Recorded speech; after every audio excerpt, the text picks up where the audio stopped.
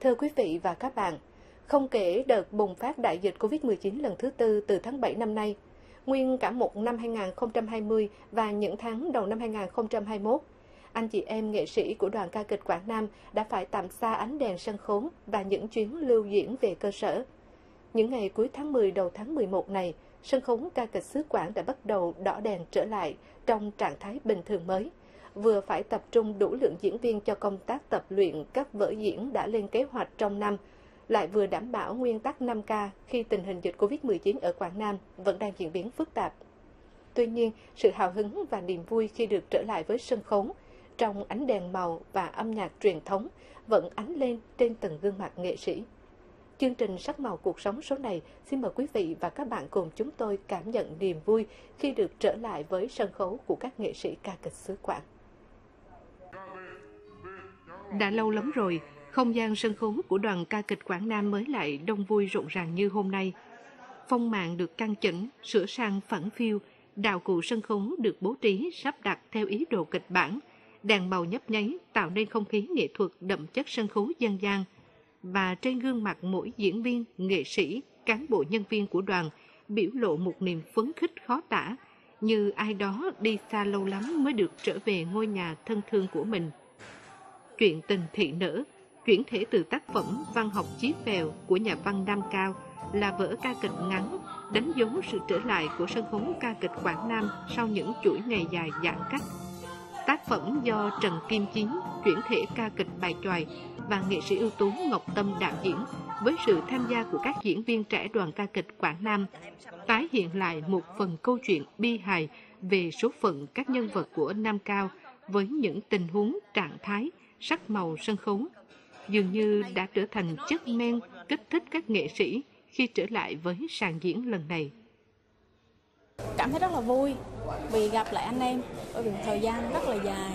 Ờ, ở nhà thì nhớ nghề kinh lắm. Ừ, bởi vì là mình là người nghệ sĩ mà muốn ờ, ở trên sân khấu để biểu diễn để phục vụ ờ, nhân dân, phục vụ khán giả và yêu thân yêu của mình. Nhưng mà một thời gian dài là không được biểu diễn, không được ca hát cảm thấy rất là nhớ nghề. Nhưng mà bây, bây giờ thì covid nó cũng đỡ hơn. Tụi em thì ở đà nẵng cho nên là ở quảng nam với đà nẵng đã bị chia cắt một thời gian dài. Cho nên là cảm thấy rất là nhớ anh em đồng nghiệp. Khi vô thì vui lắm mọi người à, mấy bữa nay là tập vui lắm. Nói chuyện vui vẻ. Um, với lại uh, được uh, thể hiện mình trên sân khấu nữa thì càng hạnh phúc hơn. Trong một thời gian dài nghỉ thì uh, khi mà trở lại thì cảm giác là nó vẫn hồi hộp và cũng rất là vui và mong muốn là mình được làm nhiều hơn nữa làm liên tục để cho cái nghề của mình nó ngày càng phát triển. Tuy bị dịch chia cắt nhưng mà chúng tôi vẫn trao đổi với nhau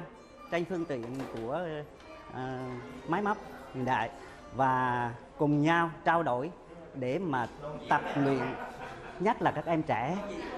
À, cũng thiết tha với nghề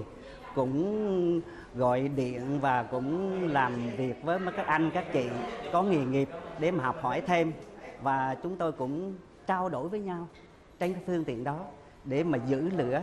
giữ cái nghề này. Để rồi hôm nay chúng tôi tiếp tục làm cái công việc nghệ thuật đối với cái, cái tân nhà có thể nói với các nghệ sĩ diễn viên của đoàn ca kịch Quảng Nam khi được trở lại sân khấu biểu diễn sau chuỗi ngày dài giãn cách vì đại dịch là niềm hạnh phúc rất lớn. Ròng rã nhiều tháng liền với nỗi nhớ sân khấu, nhớ những vai diễn và anh chị em trong đoàn, nhiều lúc khiến họ hụt hẫng.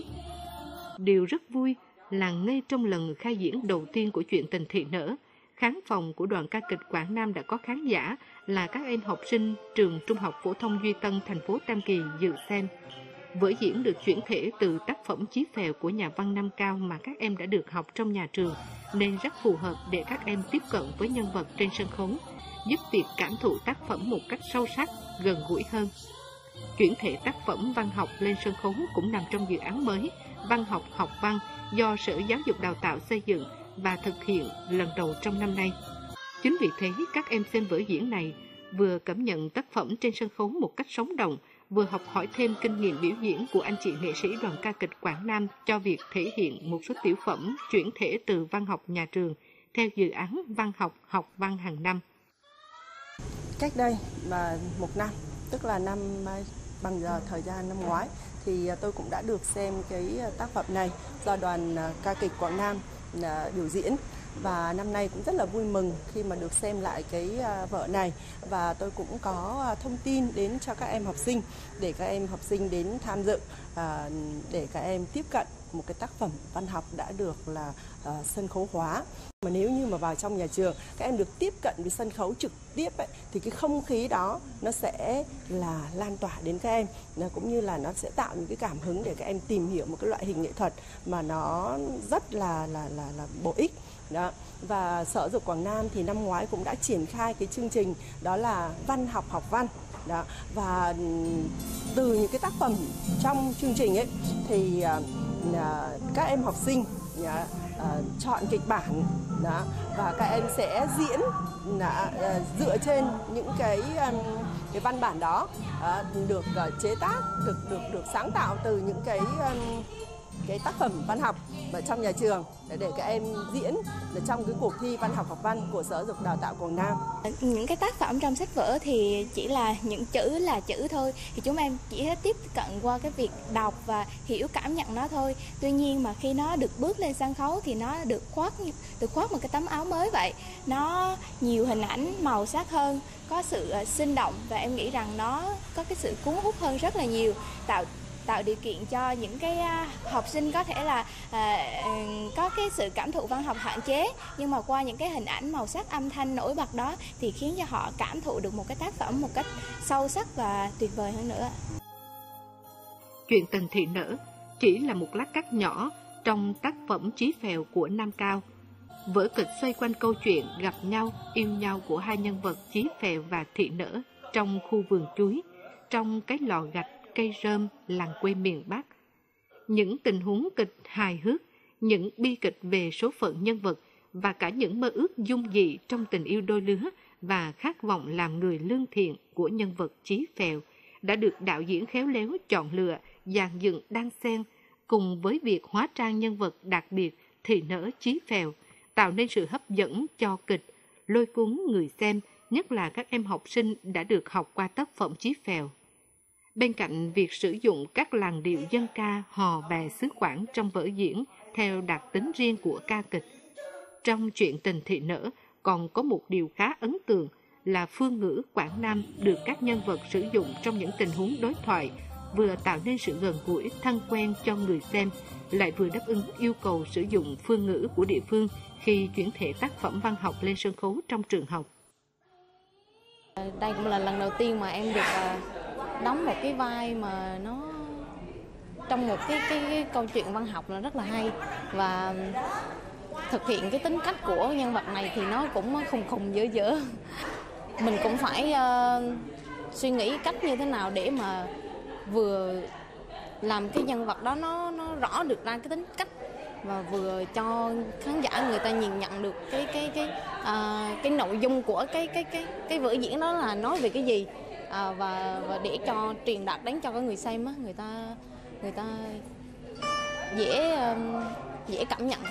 Cái vở à, chuyện tình thì nở à, dần dựng trong cuối năm 2020 và đầu năm 21 thì đi diễn đặc biệt là đi diễn ở các trường và đi diễn ở các uh, à, các phường của của thành phố Tam Kỳ à, cũng là được đón nhận cũng rất là nồng nhiệt đặc biệt là cái lứa tuổi mà thanh thiếu niên. À, khi mà xem được cái vở này thì các em cũng đó là một cái à, chúng là một cái cái cái, cái bài giảng à, một cái bài giảng của cô dạy trước. À, để khi mà các em tiếp cận à, thì là các em có những cái cái, cái hiểu biết sâu sắc về tác phẩm để phân tích tác phẩm trước thử thách khắc nghiệt của âm nhạc truyền thống trong thời hiện đại, trước yêu cầu gìn giữ và phát triển vốn quý dân ca kịch xứ Quảng, và trước đòi hỏi ngày càng cao của công chúng với sân khấu truyền thống, không chỉ ở nội dung vở diễn mà còn cả về thanh lẫn sắc của diễn viên. Nhiều năm qua, đoàn ca kịch Quảng Nam đã không ngừng làm mới mình trên nhiều phương diện, trong đó chú tâm thực hiện chiến lược trẻ hóa lực lượng diễn viên của đoàn. Thực tế, chiến lược trẻ này đã đem lại hiệu quả bước đầu đáng ghi nhận.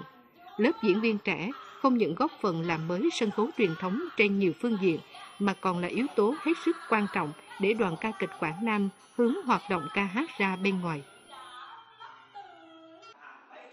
Thực tế với lớp diễn viên trẻ này, nhiều năm nay ca kịch Quảng Nam đã đảm đương tốt các hoạt động văn nghệ lễ hội, các dịp kỷ niệm trọng đại cũng như những sự kiện nổi bật của các sở ban ngành trong tỉnh. Điều này vừa góp phần đảm bảo thu nhập, ổn định đời sống, vừa làm giàu hơn kinh nghiệm sân khấu cho các em. Tuy nhiên, cũng như các thế hệ đi trước, hầu hết các diễn viên trẻ đều chưa qua trường lớp đào tạo về dân ca kịch chuyên nghiệp. Chính vì thế, liên tục những năm qua, đoàn ca kịch Quảng Nam vừa tạo đất diễn cho lực lượng trẻ, vừa tranh thủ đào tạo nghề bằng các khóa ngắn hạn về cơ bản và nâng cao. Với sự cố gắng à, của ừ, các thế, các thế hệ lãnh đạo trước và à, bây giờ thì các em à, thế hệ diễn viên cũng đã kế tục được cái cái cái cái, cái sự nghiệp à, cái sự nghiệp ca kịch à, để mà mà ừ, à, ừ, biểu diễn phục vụ nhân dân. À, và có cũng có một cái sự trưởng thành. À, thì à, đối với lại các à, lớp nghệ sĩ kế cận ví dụ như là ừ, Ngọc Uyên, à, Quang Việt, à, Hồng Nhật, Ngọc Quốc, Văn Phước à, thì các em đó là cũng đã có cái cái bước trưởng thành. Qua cái hội thi hội diễn từ năm 2016 tới tới nay là các em cũng đã đạt huy chương vàng huy chương bạc của cái hội diễn à, ừ, sân khấu toàn quốc cái đó là là là cũng là một cái cái cái cái cái à, cái khẳng định là đoàn đã có một cái à, bước chuẩn bị về cái nguồn nhân lực đã có từ trước sau vở diễn chuyện tình thị nữ đoàn ca kịch Quảng Nam đã lên kế hoạch để tập luyện các vở diễn còn lại trong năm. Đó là các vở Hai người cha, tác giả Trịnh Ký Đức và Về thôi của Minh Bá. Cả hai đều là đề tài hiện đại, phản ánh cuộc sống gia đình và câu chuyện về lâm nghiệp ở miền núi Quảng Nam. Hy vọng từ nay đến cuối năm, tình hình dịch sẽ chấm dứt để anh chị em nghệ sĩ của đoàn lại có cơ hội mang. Hy vọng từ nay đến cuối năm, tình hình dịch sẽ chấm dứt để anh chị em nghệ sĩ của đoàn lại có cơ hội mang dân ca về biểu diễn ở các làng quê xứ Quảng nhân dịp Tết Nguyên đán.